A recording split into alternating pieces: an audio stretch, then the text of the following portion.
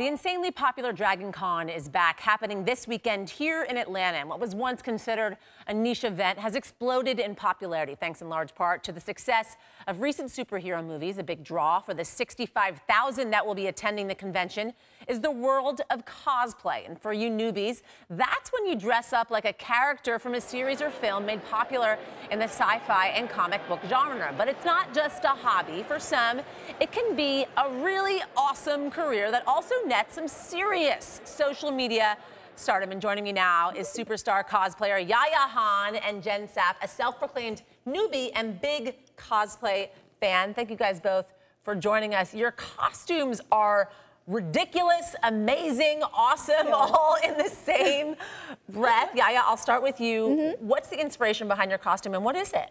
Oh, thanks so much for having me on. This is Shao Jun from the Assassin's Creed China Chronicles video game. Okay. We all know the costume that Jenn is wearing, obviously, Wonder Woman. I used to have the underoos for that costume when I was little. you look awesome in it. Why did you decide yeah. to wear the Wonder Woman costume? I decided to go with the traditional Lynda Carter from the 1970s television show, and she is a powerhouse, and I think that I am a powerhouse and she embodies everything that the, the you know regular woman would want to be. And i exude power in my suit, and that's yeah. how I feel. You look amazing. Thank well, you so much. What's interesting to me is that you guys both chose really powerful. Mm -hmm. Of course. Women. I think it's about uh, sort of being a bigger person than you are. I think cosplaying can give you a lot of confidence. It can sort of tap into parts of you that, you know, you yourself may not have the uh, courage to do, but if you're in a costume, it will make you feel so much uh, larger than life. Yeah, yeah, I want to read some social stats of uh-huh. yours. Uh -huh. Okay, mm -hmm. so okay. you have over 221,000 Instagram followers. That's a lot. Holy moly. Even just looking at this, I'm saying that's a lot.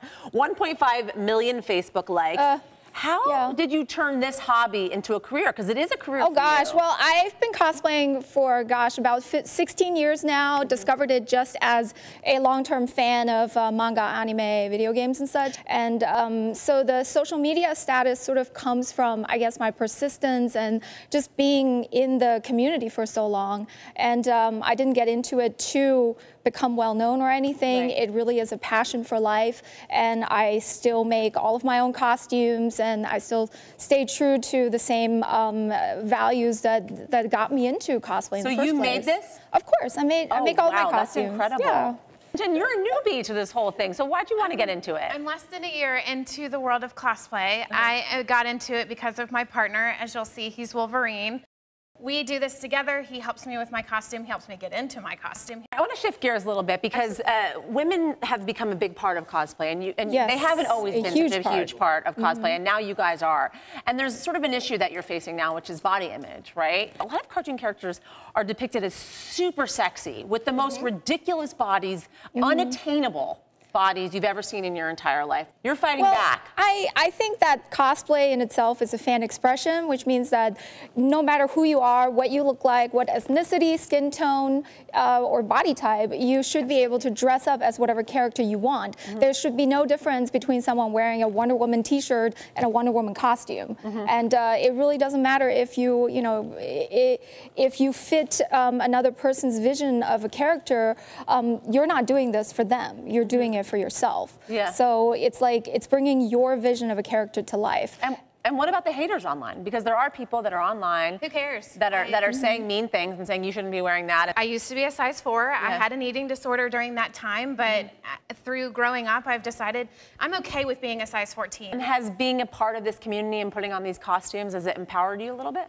Absolutely. It's empowered me to tell women it's okay to be in that costume mm -hmm. if it makes you feel good. And maybe it's about getting more women into the comic book industry. How about that? Well, that is something we drive. certainly all have right? been trying to do. Yeah. Yes, absolutely. Yeah. Jenn, Yaya, mm -hmm. you guys look incredible. Thank you so much. You are going to kill it at cosplay.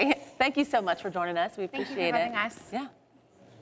Those two ladies are getting a run for their money because I'm here with Strider, we referred to as Hip Hop Trooper earlier today. Strider, man, I'm How we doing? bling and everything. Well, thank you, man. I gotta come out my best. It's Dragon Con. I gotta look my best. Yeah, listen, I, I just, I've always wondered because I was considering about applying for the dark side. I, I mean, how long you been with them? Wow, well, I left the Death Star. I left yeah. the Death Star. Oh, you did leave yeah. the Death Star. But I gave a couple weeks notice, so me and Lord Vader, my boss, we're still cool. Yeah, you guys are tight. What are the benefits like? Pretty good? Uh, terrible benefits. Oh, I know. Terrible benefits. It sucks. I yeah. just feel like um, just regular entry-level employee. Can't really talk about it because you can get forced choked from anywhere. Yeah. So if I mention it, Oh, exactly. You don't want to do that. You know? Hey, listen, you mind if we take a selfie? Yeah, yeah. Hey, that'd be great. Let's go. We'll be right back, guys.